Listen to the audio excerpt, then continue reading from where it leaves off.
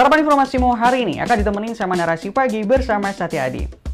Sinyal naiknya harga Pertalite mulai muncul. Kemudian Wakil Ketua KPK Lili Pintauli diduga langgar etik. Dari luar negeri, ada kabar tentang Islamofobia di India dan pernyataan Biden tentang dugaan genosida oleh Rusia.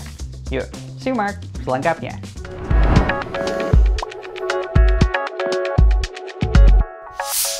Guys, siap-siap. Menyusul Pertamax, ada sinyal nih. Kayaknya harga Pertalite bakal ikut naik.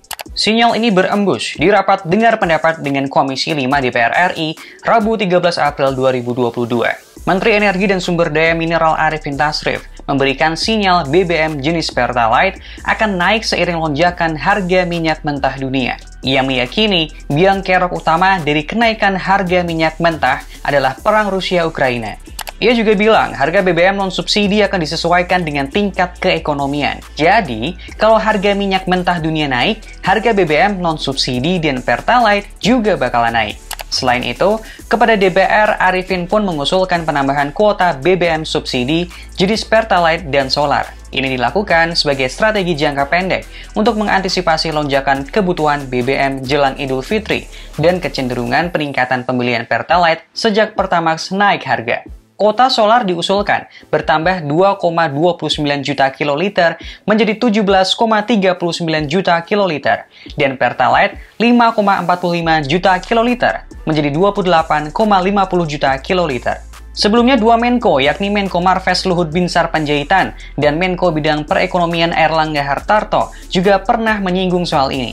1 April 2022 lalu, Luhut pernah bilang kalau nasib Pertalite akan menyusul Pertamax. Di kesempatan yang sama, ia bilang LPG 3 kg pun bakal mengalami kenaikan harga.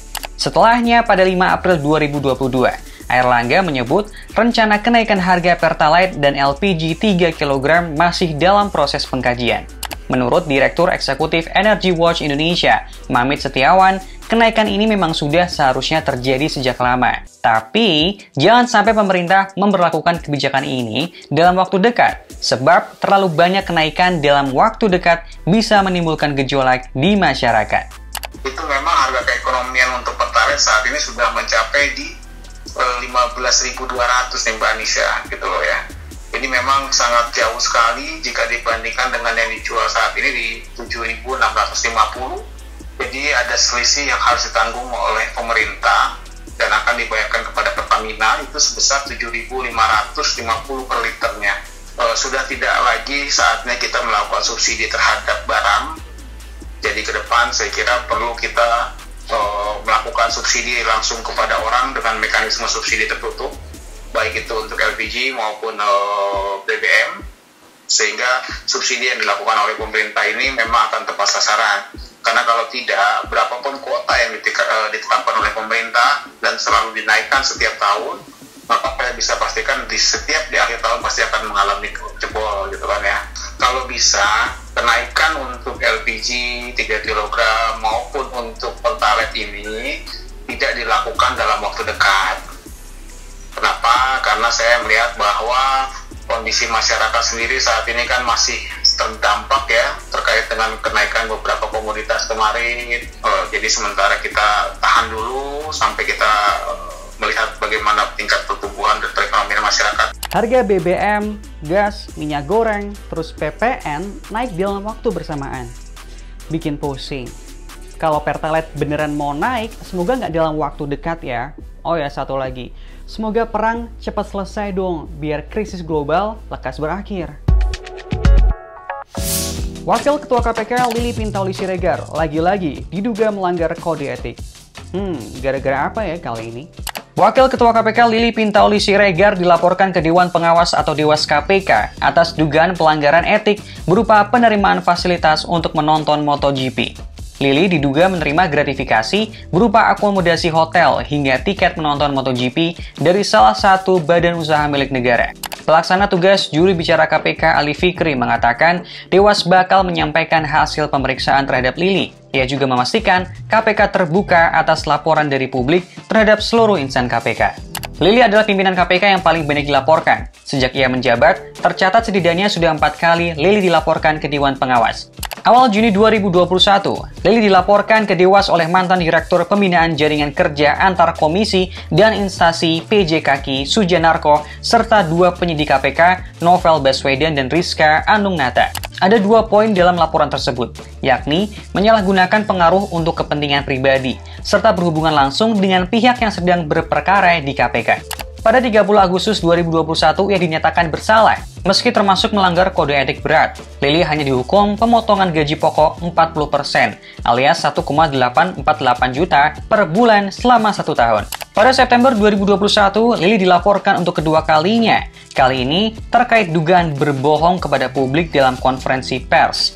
Dan Oktober 2021, lagi-lagi Lili dilaporkan atas dugaan intervensi penanganan perkara, yakni kasus dugaan suap ex Bupati Labuan Batu Utara Kerudin Syah Sitorus. Dan yang terakhir, eh, keempat ya, ini adalah dugaan menerima fasilitas untuk menonton MotoGP. Menurut Kurnia Ramadana dari Indonesia Corruption Watch, jika terbukti melanggar etik, Lili Pintauli bisa dijerat pidana.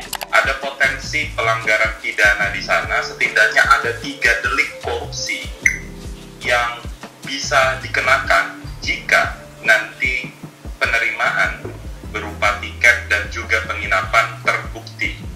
Pertama adalah tindak pidana gratifikasi. Di sana bisa dikenakan pasal 12 huruf B besar Undang-Undang Tipikor dengan ancaman pidana penjara 20 tahun bahkan seumur hidup. Yang kedua, ranah pidananya adalah tindak pidana suap yang ketiga, tindak pidana pemerasan. Saat Lili melontarkan ancaman terhadap pihak pemberi dengan iming-iming pengurusan suatu perkara. Tiga aturan itu atau tiga pelanggaran itu tertuang dalam Undang-Undang Tipikor. Selain dari permasalahan etik, ada pasal 4 ayat 2 huruf A dan juga huruf B Peraturan Dewan Pengawas nomor 2 tahun 2020 yang bisa juga dikenakan kepada Lili Pintauli Siregar. Kalau dua kali terbukti melanggar kode etik, maka saya rasa aturan yang bisa dikenakan kepada Lili adalah pasal 10 ayat 4 huruf B Peraturan Dewan Pengawas nomor 2 tahun 2020 yaitu Dewan Pengawas harus meminta yang bersangkutan untuk mengundurkan diri sebagai pimpinan KPK. Yang terhormat Dewan Pengawas KPK, mungkin sanksinya terlalu ringan kali. Jadinya begitu-begitu lagi. Baru-baru ini umat Hindu di India merayakan festival Ram Navami. Sayangnya, ada pihak-pihak yang memanfaatkan situasi tersebut untuk memojokkan umat Islam di sana. Festival Ramnavami diadakan untuk merayakan kelahiran Dewa Rama, seorang raja legendaris, dan menurut pandangan Hindu, ia adalah inkarnasi Dewa Wisnu yang ketujuh. Festival Ramnavami tahun ini jatuh pada 10 April 2022. Perayaan festival ini diiringi dengan gelombang Islamofobia, berupa ujaran kebencian hingga kekerasan.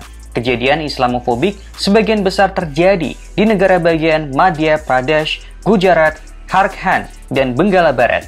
Melansir Al Jazeera, ada sejumlah pria Hindu yang menghentikan sepeda motor di lingkungan Muslim. Mereka memainkan lagu-lagu provokatif dan meneriakan kebencian serta ancaman genosida di sekitar rumah dan masjid.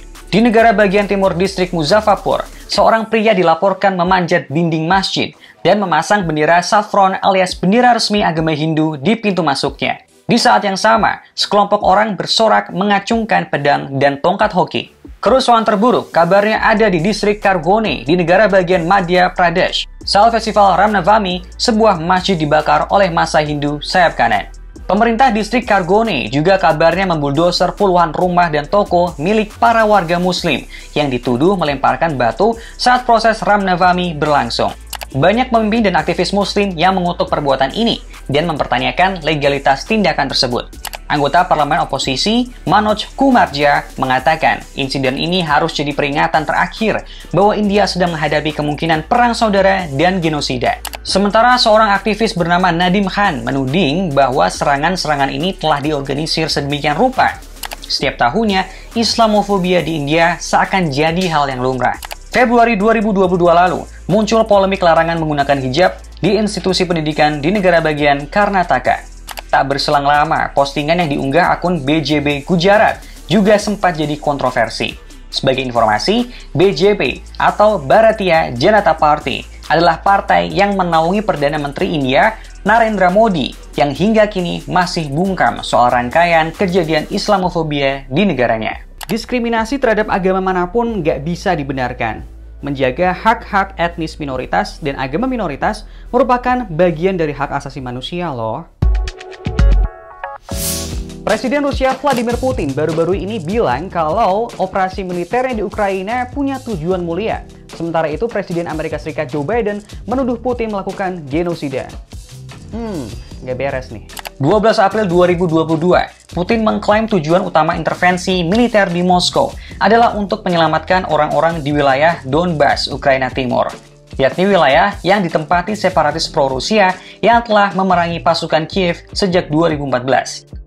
Menurut Putin, di satu sisi Rusia membantu dan menyelamatkan orang, dan di sisi lain, ia cuma mengambil tindakan untuk memastikan keamanan negara. Dan untuk tujuan itu, ia tak punya pilihan lain selain meluncurkan perang dengan pasukan anti-Rusia di Ukraina. Totally. This new of are with. You see how Nazi ideology became a fact of life in Ukraine. It was unavoidable. We are taking steps to provide security for Russia. We didn't have any other choice. We did the right thing, and I have no doubt that our aims will be achieved. Ia juga lanjut mengatakan bahwa perundingan damai dengan Ukraina kembali menemukan jalan buntu. Untuk itu, ia pun kukuh dan bilang tak akan menghentikan operasi militer di Ukraina sampai tujuannya tercapai. Presiden Amerika Serikat Joe Biden sudah berulang kali menuding Putin sebagai penjahat perang. Tapi untuk pertama kalinya, pada Selasa 12 April 2022, ia mengatakan bahwa invasi Rusia sama saja dengan genosida. Yes, I call this genocide because it becomes clearer and clearer that Putin is just trying to wipe out the idea of being Ukraine. And uh, the, mount, the evidence is mounting. We'll let the lawyers decide internationally whether or not it qualifies. But it sure seems that way to me. Thank you. Kapan ya konflik ini kelar? Harus berapa nyawa lagi yang dikorbankan? Hah, fix. Harga BBM entar naik lagi nih. Itu tadi 4 menu sarapan informasi kamu hari ini. Narasi Pagi akan hadir lagi besok pukul 8 waktu Indonesia Barat live di Instagram Narasi Newsroom dan Mata Najwa. Sehat selalu ya kawan. Sampai jumpa.